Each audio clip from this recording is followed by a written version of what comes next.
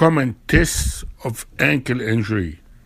The anterior drawer test is used to test the anterior talofibular ligament. The anterior talofibular ligament is the weakest and the most commonly injured ligament in ankle sprain, which is called lateral collateral ligament injury. The talar tilt test is used to test the calcaneofibular ligament. It's probably testing the anterior talofibular ligament and the calcaneofibular ligament. How about the squeeze test? There are several of them. One at the mid calf that will test the high ankle sprain.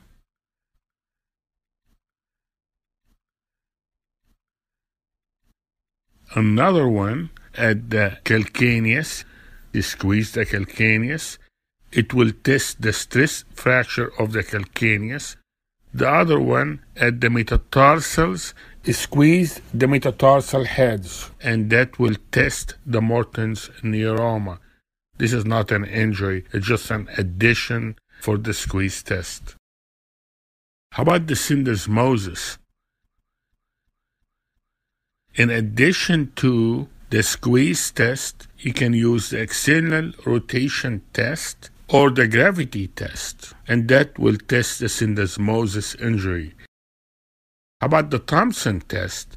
Thompson test will test tear of the Achilles tendon.